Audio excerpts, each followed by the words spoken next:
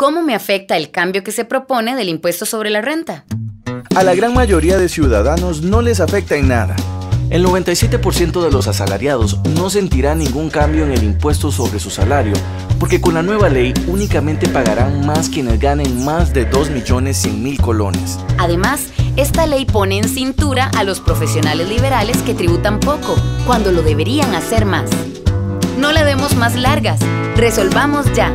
Plan de fortalecimiento hacendario.